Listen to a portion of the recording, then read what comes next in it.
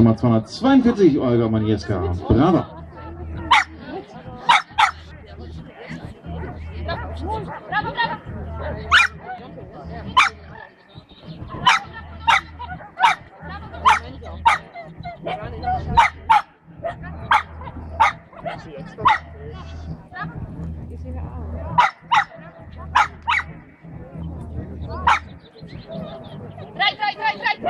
Cip, cip.